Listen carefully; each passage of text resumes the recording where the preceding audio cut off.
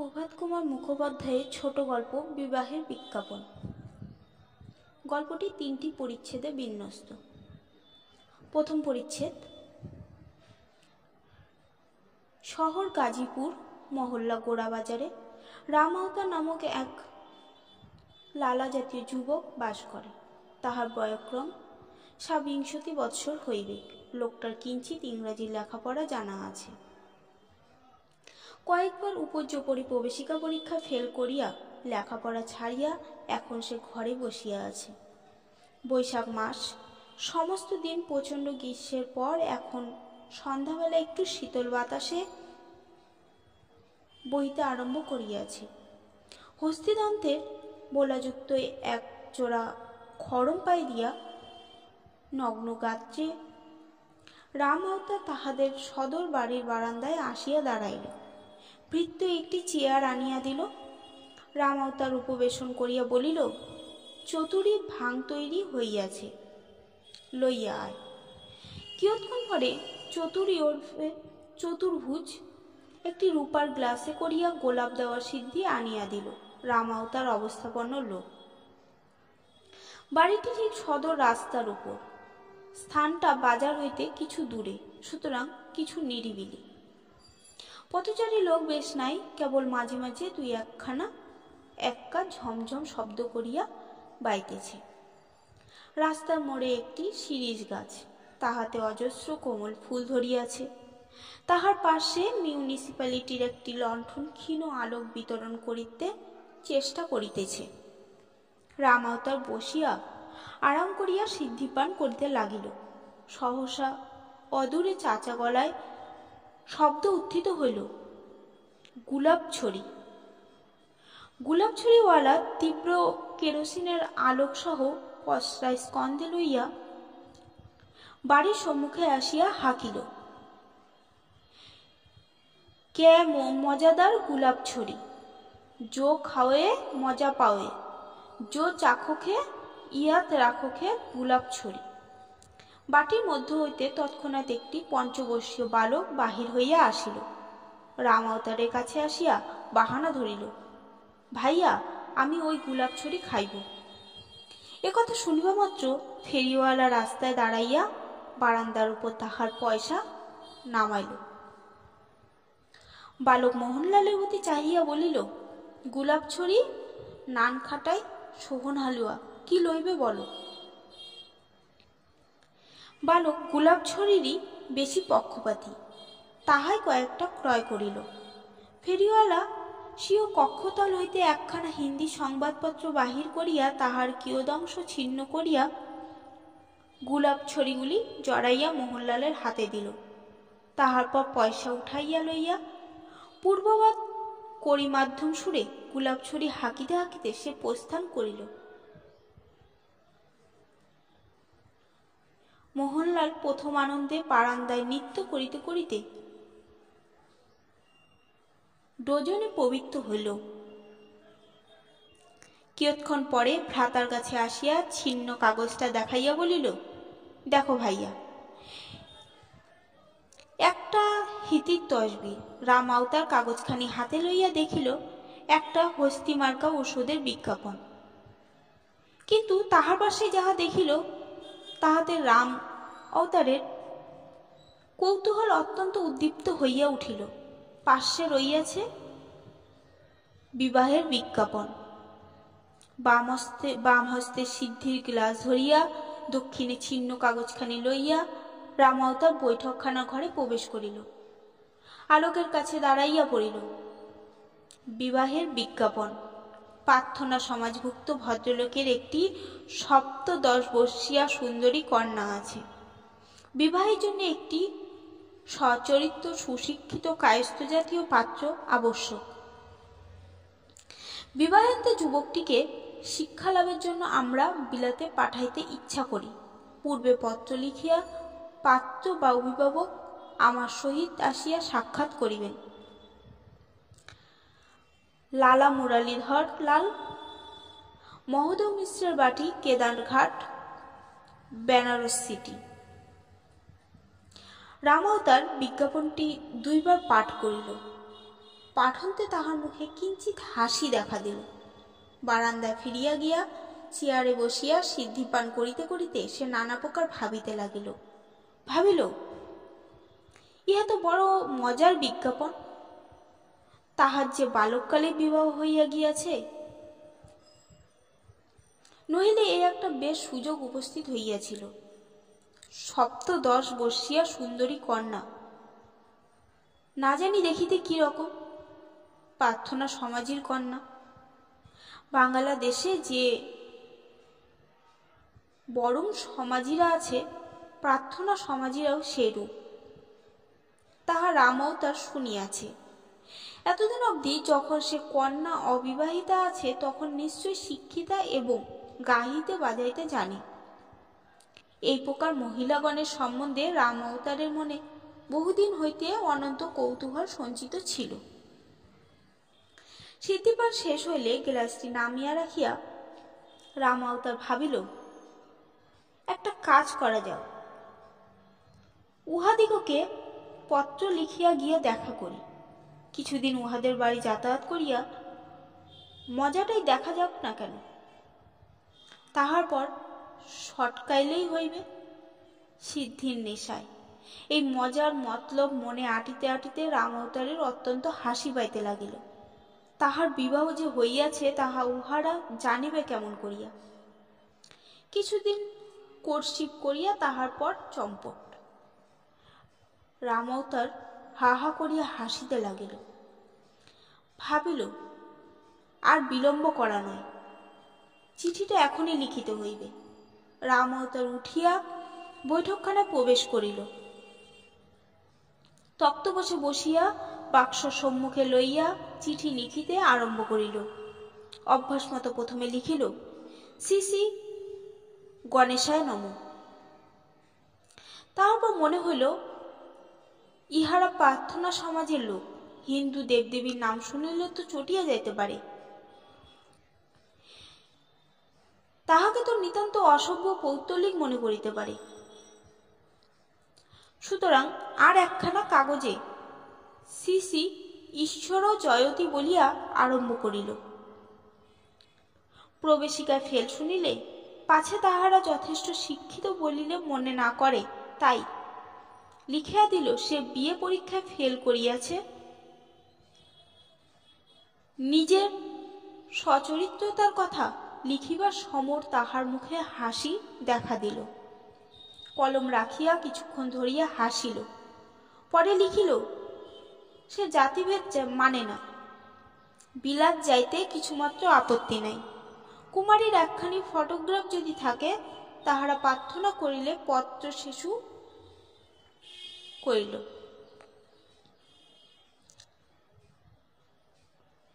সেদিন রাতে রাম অবতারের ভালো করিয়া নিদ্রা হইল না। ভবিষ্যৎ ঘটনা সম্বন্ধে যতই সে কল্পনা করে, ততই তাহার হাস্য সম্বরণ করা কঠিন হইয়া ওঠে।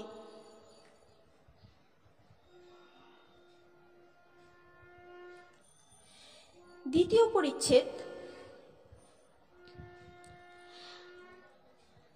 কাশীর কেদারঘাটের নিকট একটি ক্ষুদ্র গলির মধ্যে একটি তিতল অট্টালিকা। বেলা দ্বীপ্রহরের সময় তাহার একটি কক্ষে মেঝেতে শতরঞ্চ বিছাইয়া দুই ব্যক্তি বসিয়া দাবা খেলিতেছিল। একজনের শরীর দৃঢ় ও বলিষ্ঠ, কিছু স্থূল গৌরবর্ণ পুরুষ। অপরটি দেহ ক্ষীণ হলেও শারীরিক বলের পরিচয় তাহার অঙ্গ প্রত্যঙ্গে দৃশ্যমান। এই দুই ব্যক্তি কাশীর দুইজন প্রসিদ্ধ গুন্ডা, প্রথম বর্ণিত ব্যক্তির নাম মহাদেব মিশ্র। সে এই বাড়ির অধিকারী। দ্বিতীয় ব্যক্তির নাম কানাইয়ালাল। সে মহাদেব মিশ্রের একজন প্রিয় সাকিরত ভিত্ত আসিয়া তামাক দিল। তারপর নিজ মেজ্জাইয়ের পকেট হইতে একখানি পত্র বাহির করিয়া বলিল, চিঠি আসিয়াছে। কানাইয়ালাল চিঠি লইয়া ঠিকানা পড়িল। লালা মুরলীধর লাল, মহাদেব মিশ্রের বাটি কেদারনাথ বেনারস সিটি পড়িয়া কানাইয়ালাল বলিল, লালা মুরলীধর, তোমার ভাড়াটিয়া লালা মুরলীধর তো দুই তিন বছর হলো এ বাড়ি ছাড়িয়া গিয়াছে। মহাদেব ধূমপান করিতে করিতে বলিল, লালা মুরলীধর তো নকল বদলি হইয়া গিয়াছে। চিঠি খোলো, দেখো কি সমাচার। কানাইয়া বলিল, মুরলীধরকে ঠিকানা কাটিয়া পাঠাইবে না। মহাদেব বলিল, আরে, কি সমাচার, সে তো আগে দেখতে হইবে। খোলো, পড়ো। কানাইলের গুরুজির আদেশ মতো পত্র খুলিয়া পাঠ করিল। মহাশয় সংবাদপত্রে আপনার কন্যা বিবাহের বিজ্ঞাপন পাঠ করিয়াছি। আমি একজন সশংসীয় কায়স্থ যুবক। আমার বয়স বাইশ বৎসর মাত্র। আমি এলাহাবাদ কলেজে বিএ শ্রেণি অবধি অধ্যয়ন করিয়াছিলাম, কিন্তু পরীক্ষার পূর্বে পীড়াক্রান্ত হওয়ার পাশ করিতে পারি নাই। আমি জাতিভেদ মানি না। বিলাত যাইবার জন্য আমার বাল্যকাল হইতেই পাশনা যদি মহাশয় আমাকে আপনার কন্যার যোগ্যপাত্র বিবেচনা করেন, তবে আমি বিবাহ করিতে প্রস্তুত আছি। আমি বাল্যবিবাহের বিরোধী। এ কারণে অদ্যপি বিবাহ করি নাই। আমি সচরিত্র এবং সত্যবাদী। আজ্ঞা পাইলে আমি মহাশয়ের সহিত গিয়া সাক্ষাৎ করি। যদি কুমারীর একখানি ফটোগ্রাফ থাকে, তো পাঠাইয়া বাধিত করিবেন। ইতি লালা রাম আউতাল্লাল মহল্লা গোড়াবাজার শহর গাজীপুর। পত্র শুনিয়া মহাদেব মিশ্র হাসিতে লাগিল বলিল, এ তো বড় তামাশা। সে মেয়ের তো কবে বিবাহ হইয়া গিয়াছে? বলিতেছে যে, সংবাদপত্রে বিজ্ঞাপন দেখিলাম, সে কি? মহাদেব বলিল, জানো না।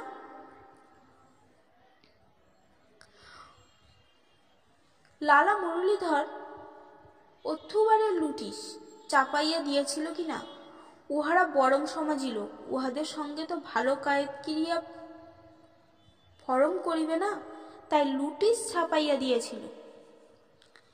আমি তো শুনিয়াছি যে কায়স্তের সঙ্গে বিবাহ হইয়াছে।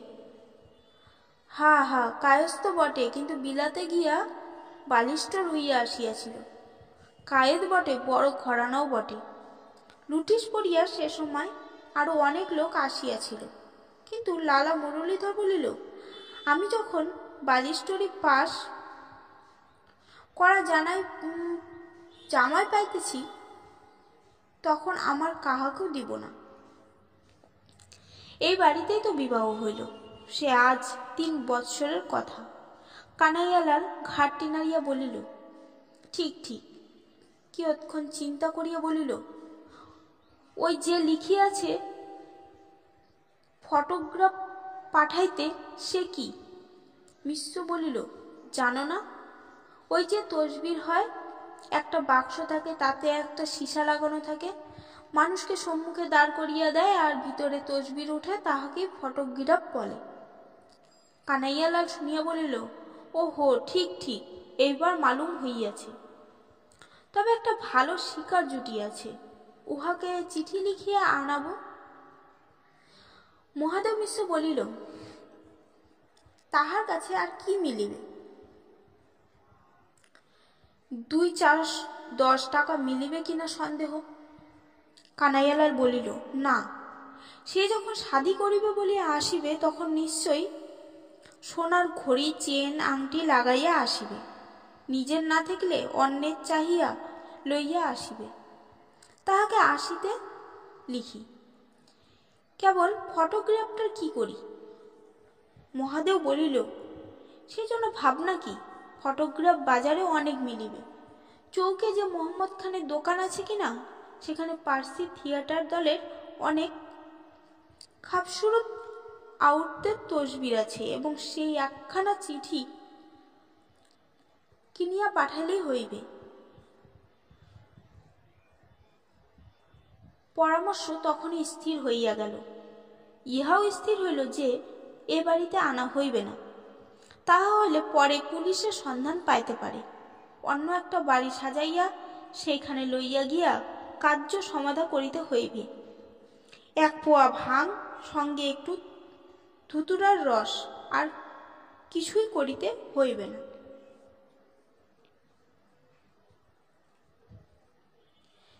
তৃতীয় পরিচ্ছেদ।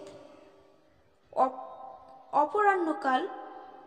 কোড়াবাজারের সে বৈঠকখানাটিতে অধ্যশয়ন অবস্থায় রাম অবতার ধূমপান করিতেছে এবং মাঝে মাঝে রাজপথের পানে সতীষ্ণ দৃষ্টি নিক্ষেপ করিতেছে। ডাকওয়ালার আসিবার আর বিলম্ব নাই। আজ দুই দিন হইতে রাম অবতার এই প্রকার সব প্রতীক কারণ এখনও পত্রের উত্তর আসে নাই। ডাকওয়ালা আসিয়া একখানি পত্র এবং একটি প্যাকেট দিয়া গেল। হস্তাক্ষর অপরিচিত। বেনারস সিটির মোহর রহিয়াছে। হর্ষোৎফুল্ল হইয়া রামতা তক্তবশের উপর উঠিয়া বসিল। প্রথমে প্যাকেটটি উন্মুক্ত করিল। ফটোগ্রাফ সুন্দরী যুবতীর মনজ্ঞ সুন্দর ছবি। সতৃষ্ণ নয়নে রামাউত ছবিখানির প্রতি চাহিয়া রইল।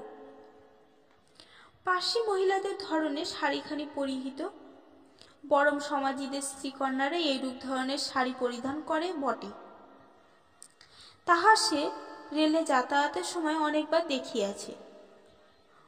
মুখ চক্ষুর গঠন কি সুন্দর। রামতা মনে মনে বলিতে লাগিল, বাহ, কি বাহ! বাহরে বাহ! ছবিখানি রাখিয়া সে পত্রখানি খুলিল। তাহাতে এইরূপ লেখা ছিল, মহাশয় আপনার পত্রিকা প্রাপ্ত হইয়াছি। আগামী শনিবার সন্ধ্যার গাড়িতে যদি আপনি আসেন, তবে উত্তম হয়। আপনার সঙ্গে সাক্ষাৎ পরিচয় হইলে তবে অন্যান্য কথাবার্তা হইবে। আমি সম্প্রতি বাড়ি বদল করিয়াছি, সুতরাং কেদারঘাটের বাড়িতে আসিবেন না। আমি স্টেশনের লোক পাঠাইয়া দিব। আপনাকে সঙ্গে করিয়া লইয়া আসিবেন। ওই দিন সন্ধ্যাকালে আমার আলয়ে আপনি ভোজন করিলে অত্যন্ত সুখী হইব। ফটোগ্রাফ পাঠাইলাম। লালা মুরলীধর লাল। পত্র রাখিয়া আবার ফটোগ্রাফখানি লইয়া রাম অবতার দেখিতে লাগিল। একটি বাহু পার্শ্বদেশে লম্বিত, অপরটি অধ্যুষিতভাবে শাড়িখানির এক অংশ ধরিয়া আছে। চক্ষু যুগল যেন হাস্যপূর্ণ। ভাবিতে লাগিল ইহার সহিত আলাপ হইলে কি মজাদারি হইবে?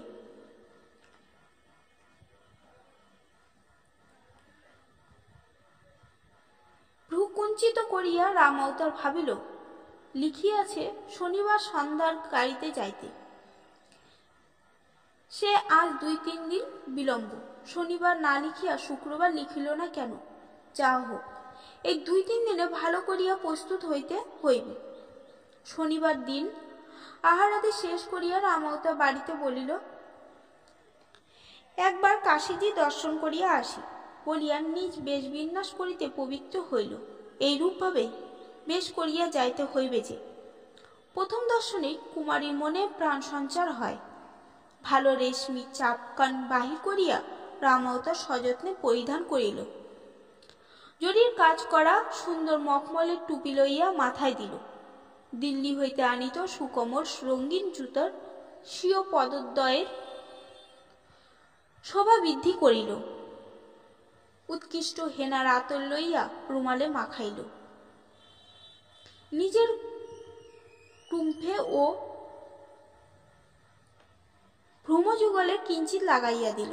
কয়দিন কাশিতে থাকিতে হইবে, তাহার স্থিরতা নাই। খরচপত্র একটু ভালো করিয়াই করিতে হইবে, তাই দুই শত টাকাও নিজের সঙ্গে লইল। সোনার ঘড়ি, সোনার চেন এবং হীরকের অঙ্গুরিও পরিধান করিয়া স্টেশন অভিমুখে রওনা হইল। রেলগাড়িতে তাহার মনে হইতে লাগিল, যুবতীটির সঙ্গে সাক্ষাৎ হইলে তাহার সঙ্গে কি প্রকার সম্ভাষণ করিতে হইবে। ইংরেজি ধরনের এক প্রকার কোর্টশিপ হয়, তাহা সে অবগত ছিল মাত্র, কিন্তু তাহার প্রণালীর বিষয় কিছুই জানিত না। ইংরেজি উপন্যাসাদি সে কখনো পাঠ করে নাই।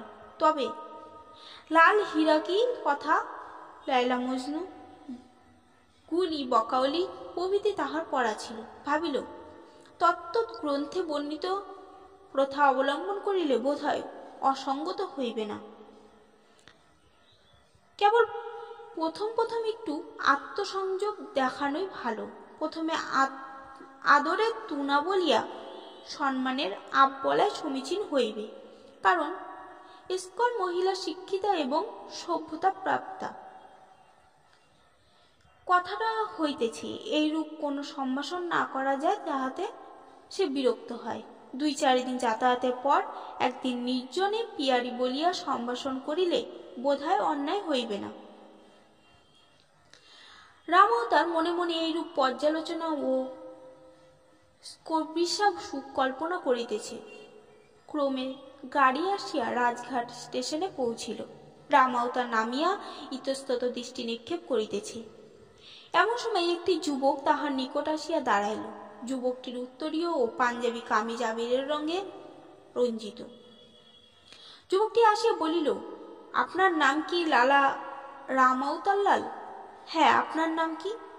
কিষণ প্রসাদ। আমি লালা মুরলীধর লালের পুত্র। আমি আপনাকে লইতে আসিয়াছি, বলিয়া সমাদর করিয়া সে রামাউদাকে বাহিরে লইয়া গেল। সেখানে একখানা গাড়ি দাঁড়াইয়াছিল। গাড়িতে উঠিয়া কিষণ প্রসাদ বলিল, জানালাগুলো বন্ধ করিয়া দিব কি? আজ বৈশাখী পূর্ণিমা বলিয়া কাশিতে ছোট দোল। দেখুন না, আমার এই পোশাকে আসিবার সময় দুষ্ট লোকে পিচকারি দিয়া দিয়াছে। রামও তার ব্যস্ত হইয়া বলিল, বন্ধ করিয়া দিন, বন্ধ করিয়া দিন। তাহার ভয় হইল, পাছে তাহার রেশমি পোশাক কেউ পিচকারি দিয়া নষ্ট করিয়া দেয়। দুইজনে কথোপকথন করিতে লাগিল, ক্রমে গাড়ি গন্তব্যস্থানে গিয়া পৌঁছাল অবতরণ করিয়া রামতা দেখিল, একটি প্রস্তর নির্মিত অট্টালিকা। ইতস্তত দৃষ্টিপাত না করিয়া কিশুন প্রসাদে পশ্চাৎ পশ্চাৎ ভিতরে প্রবেশ করিল।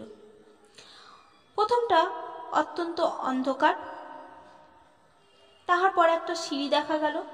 সেখানে বাতি জ্বলিতেছে। সিঁড়ি বহিয়া উপরে উঠিয়া রামাওতার একটি বৃহৎ কক্ষে নিত হইল। সে প্রথমে ভাবিয়াছিল, ইহারা যখন নব্যতন্ত্রের লোক, তখন গৃহসজ্জাদি সাহেবী ধরনের হইবে। দেখিল, তাহা নহে। কক্ষটির মধ্যস্থলে ফরাস বিছানা পাতা রহিয়াছে। তাহার উপর কয়েকটি তাকিয়া রক্ষিত।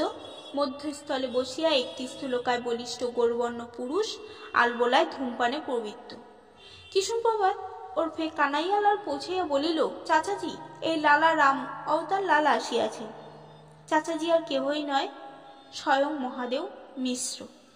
মহাদেব অভ্যর্থনা করিয়া রাম অবতাকে বসাইল। নানা প্রকার কথোপকথনে কিয়ৎক্ষণ অতিবাহিত করিয়া কানাইয়ালালকে ডাকিয়া বলিল, কি শুন? তবে আমি বাড়ির ভিতর যাইয়া উহাদের প্রস্তুত হইতে বলি। তুমি ততক্ষণ ইহাকে জলযোগ করাও। ইয়া বলিয়া মহাদেব মিশ্র বাহির হইয়া গেল। কানাইয়ালাল সেখানে বসিয়া রইল কিয়ৎক্ষণ পরে একটা ভিত্ত রূপার বাসনে কিছু মিষ্টান্ন এবং কিছু সুগন্ধি সিদ্ধি আনিয়া হাজির করিল। কিশোর প্রসাদ বলিল, আপনি পরিশ্রান্ত হইয়া আসিয়াছেন, তাই এই পেয়ালা সিদ্ধি বন্দোবস্ত করিয়াছি। আমরা কাশীবাসীরা সিদ্ধি বড় ভক্ত। ক্লান্তি দূর করিতে সিদ্ধির মতো পানীয় আর নাই। রামতার অনুরোধ ক্রমে মিষ্টান্ন এবং সিদ্ধিটুকু শেষ করিয়া ফেলিল। পকেট হইতে ঘড়ি খুলিয়া দেখিল, রাত্রি আটটা বাজে। ঘড়ি দেখিতে দেখিতে তাহার চোখ দুটি যেমন যেন ঘুমে জড়াইয়া আসিতে লাগিল। কানাইয়ালাল বলিল, আপনি গীতবাদ্য জানেন কি? আমাদের বাড়ির মহিলারা অত্যন্ত গীতবাদ্য প্রিয়। রামাওতা বলিল, গীত? গীত? জানি বই কি? শুনি, শুনিবে একটা? তখন নেশায় তাহার মস্তিষ্ক চমচম করিয়া উঠিতেছে। মনে হইতে লাগিল যেন চতুর্দিকে বহু সংখ্যক আলোকমালা জ্বলিয়া উঠিয়াছে। বহু লোক যেন তাহাকে চতুর্দিকে ঘিরিয়া সারেং বেহালা বিন হাতে করিয়া আসিয়া দাঁড়াইয়াছে। ক্রমে তাহারা যেন সকলে তালে তালে নৃত্য করিতে লাগিল। রামাউতা উঠিয়া দাঁড়াইয়া বলিল, গীত, শুনিবে একটা? বলিয়া চক্ষু মুদ্রিত করিয়া আরম্ভ করিল, বতা দে সখী, কোন গলি গয়ে মেরে শ্যাম, গোকুল ঠুরি? বিদ্রুবন ঠু আর কথা মুখ দিয়া বাহির হইল না। ঢু ঢু ঢু কয়েকবার বলিয়া সে ফরাজ বিছানার উপর সে পড়িয়া গেল। তাহার মুখ দিয়া লালা নিঃসৃত হইতে লাগিল। কিছুক্ষণ পরে মহাদেব মিশ্র আসিয়া প্রবেশ করিল। বলিল, কিরে কানাইয়া, ওষুধ ধরিয়াছে? কানাইলাল হাসিয়া বলিল, ধরিয়াছে বই কি? যায় কোথা? মহাদেব বলিল, দেখ তো কি আছে? কানাইয়ালাল তখন, অচেতন রাম অবতারের দেহ হইতে তাহার খড়ি, চেন, হীরার আংটি নগদ দুইশত টাকা, রৌপ্য নির্মিত পানের ডিব্বা প্রভৃতি বাহির করিয়া লইল। মহাদেব টাকাগুলো গণিতে গণিতে বলিল, পোশাক খুল, দামি পোশাক। গুরুজির আদেশ মতো কানাইয়ালাল সেই টুপি জুতা, রেশমি পোশাক সমস্ত খুলিয়া লইয়া তাহাকে একখানা ছিন্ন বস্ত্র পরাইতে লাগিল। মহাদেব বলিল, না না, উহাকে সন্ন্যাসী বানাইয়া ছাড়িয়া দে। কাল সকালে যখন নেশা ছুটিয়া জাগিয়া উঠিবে, তখন খাইবে কি? একটা গেরুয়া কৌপিন পরাইয়া দে, সমস্ত গায়ে ভস্ম মাখাইয়া দে। একটা চিমটা দে, একটা বুলিও সঙ্গে দিয়ে দে। কাশিতে সন্ন্যাসী বেশি লোক কখনো ক্ষুদায় মরে না। কানাইয়ালাল সমস্ত এই রূপ করিল। মহাদেব পকেট হইতে গোটা কতক পয়সা বাহির করিয়া বলিল, দে, এই পয়সা কটাও ঝুলিতে দিয়া দে। এখন ঘণ্টা দুই এইখানে পড়িয়া থাকুক তাহার পরে অন্ধকার গলি দিয়া দিয়া লইয়া গিয়া মানমন্দিরে দেউড়িতে শোয়াইয়া দিয়া আসিস। সমস্ত রাত্রি ঠান্ডায় ঘুমাইবে ভালো। নেশা রাত্রি পোহাইতে পোহাইতে ছুটিয়া যাইবে। কয়েক দিবস পরে কাজীপুরে সকলেই শুনিল, রাম অবতারলাল ধন সম্পদ পরিত্যাগ পূর্বক সংসার বিরাগী হইয়া কাশিতে গিয়া সন্ন্যাস গ্রহণ করিয়াছিল। সৌভাগ্যবশত তাহার মাতুল কাশীর রাস্তার তদবস্থা তাহাকে দেখিতে পাইয়া অনেক কষ্টে গৃহাশ্রমে ফিরিয়া আনাইয়াছেন। ধার্মিক ব্যক্তি বলিয়া এখন হইতে রামাবতারের একটা খ্যাতি জন্মিয়া গেল।